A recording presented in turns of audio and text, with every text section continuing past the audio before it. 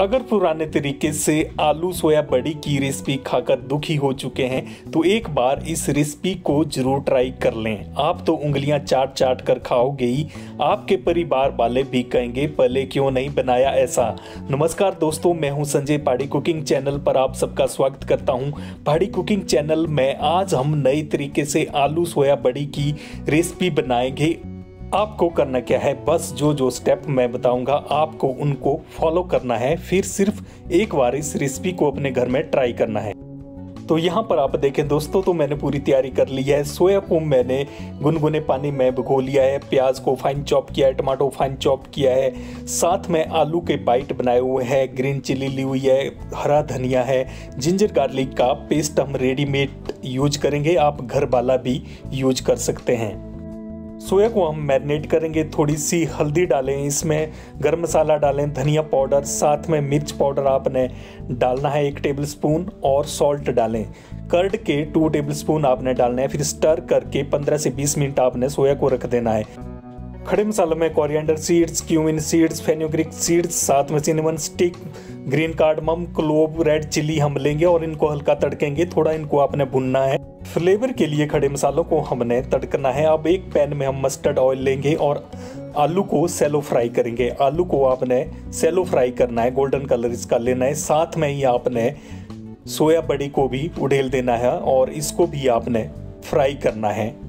हल्का golden colour लेंगे हम इसका। साथ में खड़े मसाले डालें तड़के के लिए जो हमने लिए हुए हैं और इनको हल्का भुनना है। ऑयल में हमने थोड़ा तड़के इनको ऑयल में, साथ में चॉप की हुई प्याज को उडेल दें। प्याज को अब आपने स्टर करना है। अच्छी तरह से स्टर करें प्याज को। हल्का नरम पड़ जाए प्याज तो आप मीठी सौंप का प्रयोग करें। थोड़ा सा हींग डालें आप फ्लेवर के लिए, फिर स्टर कर लें अच्छी तरह से। जब आपका प्याज थोड़ा नरम पड़ जाए तो फिर आप जिंजर और गार्लिक का पेस्ट डाल दें और इसे भी हल्का तड़कें।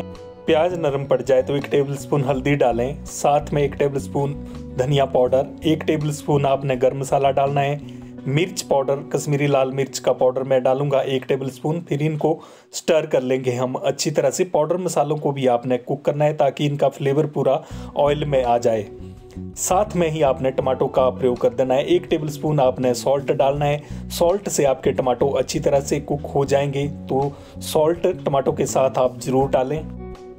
एक बाउल यहाँ पर हम कर्ड का डालेंगे। अब कर्ड को फटने से बचाने के लिए आपको करना क्या है? अपने हाथ को चलाना है। घुमाना है अच्छी तरह से कर्ड को। आलू, सोया बड़ी, में थोड़ी सी खटास लाने के लिए मैंने यहाँ पर कर्ड का प्रयोग किया है। आपके लिए ऑप्शनल है। अगर आप प्रयोग करना चाहे तो करें, नहीं तो आप स्किप भी कर सकते हैं। साथ में हमारी कर्ड अच्छी तरह से अब कुक हो गई है। यहाँ पर आप देख सकते हैं, ऑयल को बिल्कुल रिलीज़ कर दिया है कर्ड ने। इसी स्टेज पर आपने सेलो फ्राई आलू और सेलो फ्राई सोया बड़ी का प्रयोग कर देना है। थोड़ी सी ग्रीन चिली इसमें डालें आप और साथ में हरा धनिया डालें। फिर स्टर करना है इनको एक साथ आपने। थोड़ा स्टर कर लें अच्छी तरह से ताकि इनमें मसाला अच्छी तरह से रच जाए और खाती बार आपके मुँह में एक बेहतर स्वाद आए दोस्तों। तो बस आपको स्टर करना है और यहाँ पर आप देख सकते हैं कितने लजीज हमारे आलू सोया बड़ी लग रहे हैं दोस्तों। बिल्कुल एकदम डिफरेंट लग रहे हैं। आलू सोया बड़ी हमारी काफ़ी थिक लग रही है तो इतनी थिक तो चलेगी नहीं। तो आप जो है पानी का प्रयोग कर सकते हैं और तरी अपने हिसाब से आप रख सकते हैं। अगर आप एक से डेढ़ गिलास पानी का भी लगाएँ तो भी इसके फ्लेवर में कोई फ़र्क नहीं पड़ेगा। तो अब सर्व करने के लिए हमारी सोया आलू बड़ी बिल्कुल तैयार है। दोस्तों तो अब इसकी प्लेटिंग हम कर देंगे।